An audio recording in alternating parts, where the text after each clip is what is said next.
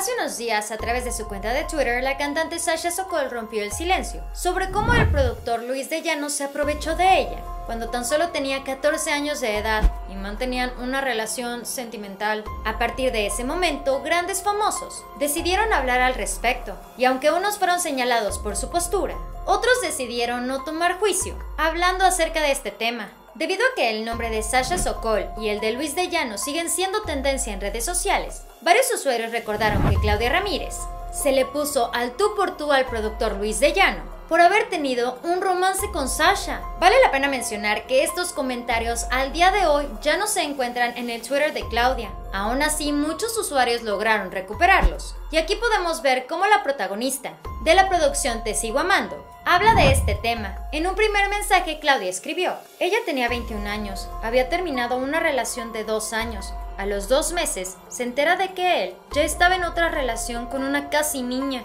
Desesperada le habla por teléfono, desesperada y sorprendida para reclamarle. De acuerdo con una publicación anterior de TV Notas, Luis de Llano había revelado que tuvo algunos encuentros románticos con algunas famosas, incluyendo a Claudia Ramírez. Otro mensaje de la actriz dice así, él le contesta, ya no está tan chica. Ella le dice, podría ser tu hija. La conoces desde que tiene 10 años. Él, estás loca y ardida.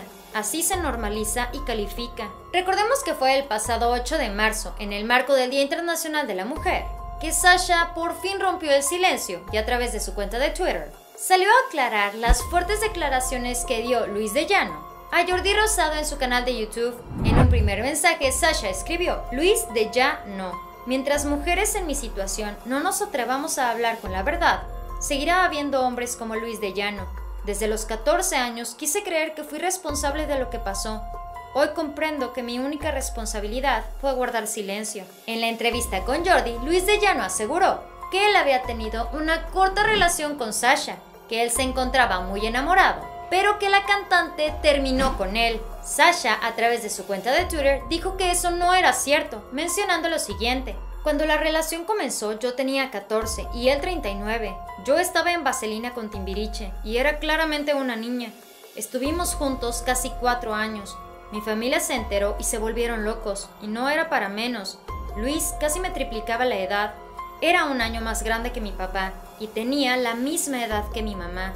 Después de que muchos usuarios de Twitter hicieran tendencia a los mensajes de Claudia, varios medios de comunicación afirmaron que ella se encontraba bastante sentida porque Luis de Llano la consideraba vieja con 21 años de edad. Esto porque al parecer la estaba comparando con Sasha, quien en ese entonces tenía 14. Este fue el muro de la fama. Dale like a este video, suscríbete y síguenos en Facebook.